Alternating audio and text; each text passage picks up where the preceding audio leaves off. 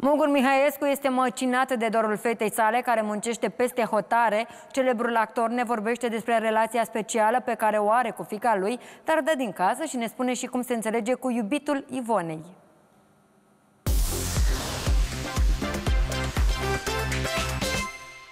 Muncește din nefericire peste hotare, dar asta face, muncește, o tipă foarte curtată de companie relația mea este așa cum a fost întotdeauna, de una fără niciun fel de, de, de bariere.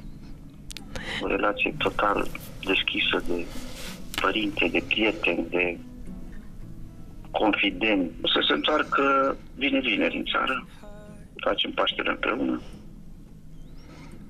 și pe urmă pleacă la loc. Asta e serviciu.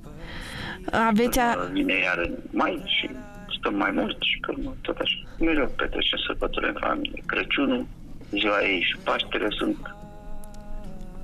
date fixe. Am văzut că povesteați dumneavoastră și despre iubitul ei. O să vină și el la masa de Paște anul acesta? Păi, nu știu, s-ar putea să fie cu ai lui, acum cu familia, că și el are o familie absolut uluitoare. Spun, sunt, uh, sunt absolut incredibil oamenii, dar ți-am spus, ei sunt ei, ei, familia lor, eu degeaba vorbesc eu despre relația lor.